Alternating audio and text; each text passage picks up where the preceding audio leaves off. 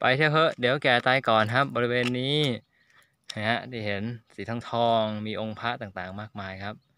นะฮะเป็นบริเวณที่เรียกว่าวัดผาเสด็จครับผมนี่ฮะห่างจากตัวสถานีอยู่ตรงนู้นฮะตัวสถานีอยู่นู้นไม่ไกลนะเท่าไหร่ครับนะฮะที่เห็นป้ายอยู่ฮะนะนะฮะเห็นป้ายอยู่เนี่ยห่างประมาณสักเอ่อเดินมา ทางสถานีเดินมาทางซ้ายมือฮะทางขวามือจะไปจะไปบริเวณที่เป็นผาเสด็จเป็นหินก้อนโตครับ แล้วก็ถ้าเดินมาทางซ้ายมือเนี่ยจะเจอวัดชื่อว่าวัดผาเสด็จครับผม ส่วนทางนี้เป็นทางถนนออกไปมิตรภาพได้ฮะประมาณ 2 กิโลครับบริเวณนี้ก็เส้นทางรถไฟฮะเอ่อข้างหน้านี่คือถ้าไปทางด้นนี้คือจะไปทางโคราชครับ ไปทางชุมทางจิระไปทางมกเหล็กฮะส่วนด้านนี้จะกลับไปทางมาบกระเบาไปทางแก่งคอยครับผม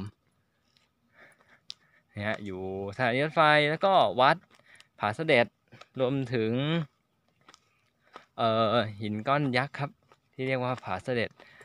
เอ่อทั้งหมดนี้ก็คือเรียกผาเสด็จทั้งหมดเลย ชื่อเดียวกันหมดครับ ก็เดินมาง่าย ๆ ครับ ไม่ไกล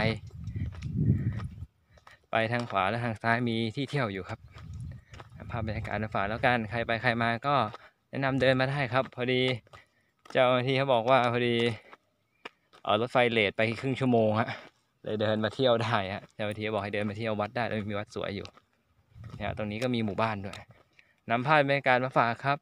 ที่วัดผาเสด็จครับไปเที่ยวเถอะเดี๋ยวแก่ตายก่อนอำเภอแก่งคอยจังหวัดสระบุรีครับผม